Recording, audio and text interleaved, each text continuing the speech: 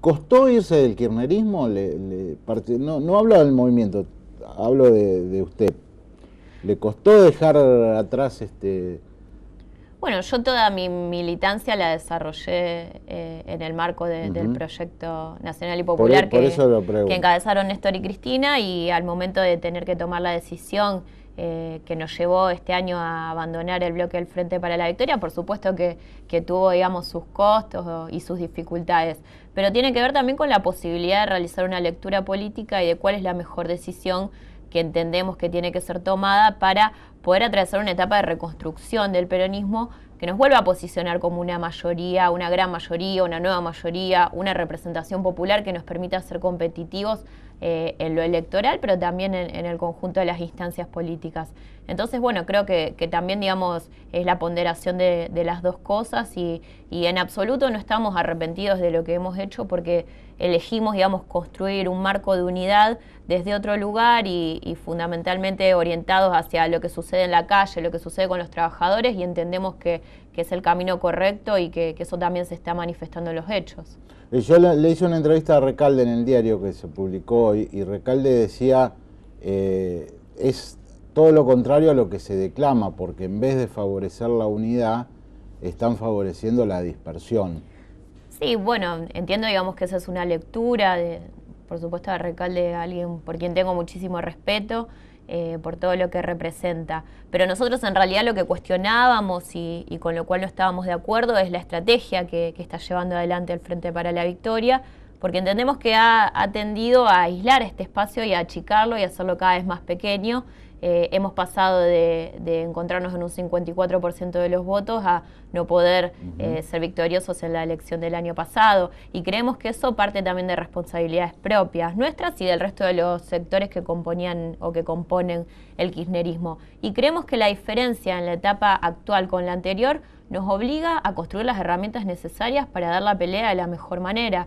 Y creemos que esto va a implicar transformaciones, lo cual no quiere decir abandonar, digamos, el compromiso ideológico, ni el lugar desde el cual hemos construido, ni dejar de reivindicar los 12 años de kirchnerismo, sino entender que esta nueva etapa nos exige construir nuevas herramientas. Eh, pregunto, en Santa Fe, eh, ¿en qué estado está el, peronismo, el Partido Justicialista, luego de renovación de, de autoridades y de un intento de... Este, aquí sí convocar a los que se habían, algunos dirigentes que se habían ido. ¿Cuál es la posición de ustedes? ¿Qué debería ser el PJ santafesino? Bueno, nos, creo que el PJ, el peronismo santafesino, al igual que el resto del país, se encuentra en un momento de debate, de diálogo, tratando de buscar algunas articulaciones y consensos que nos permitan, en el caso de Santa Fe, dar continuidad eh, a lo que fue una experiencia eh, muy exitosa y muy buena, más allá de que no nos haya alcanzado para el triunfo, pero que fue eh, la elección de, nivel provincial del año pasado. Entendemos que para, para, poder seguir transitando en ese camino es necesario convocar a todos aquellos sectores que entiendan que el peronismo tiene que volver a gobernar la provincia de Santa Fe para construir una provincia más igualitaria, más justa, más cercana a lo que nosotros consideramos que, que tiene que ser, donde los santafesinos puedan vivir mejor. Eh, desde un lugar de igualdad, resolviendo las cuestiones eh, de seguridad y un sinfín, digamos, de, eh, de, cuestiones que tienen que ver con esto. Ahora, estamos en un tránsito en el cual pasamos de una etapa que, se había caracterizado de una manera distinta a lo que viene y creo que, se está buscando y se está tratando de construir los acuerdos necesarios.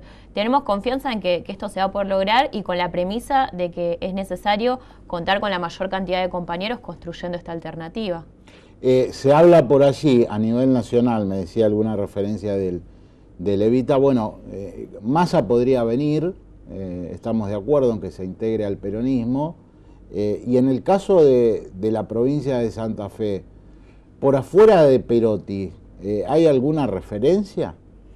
Y bueno, en realidad creo que eh, el peronismo, digamos, tiene muchos militantes, muchos compañeros, eh, pero que no, hemos logrado eh, también, digamos, en, un nivel, al igual que, lo, ha hecho Omar Perotti, construir otras referencias que puedan servirnos para, para dar la batalla electoral. Pero creo que esto también es un trabajo que podemos realizarlo.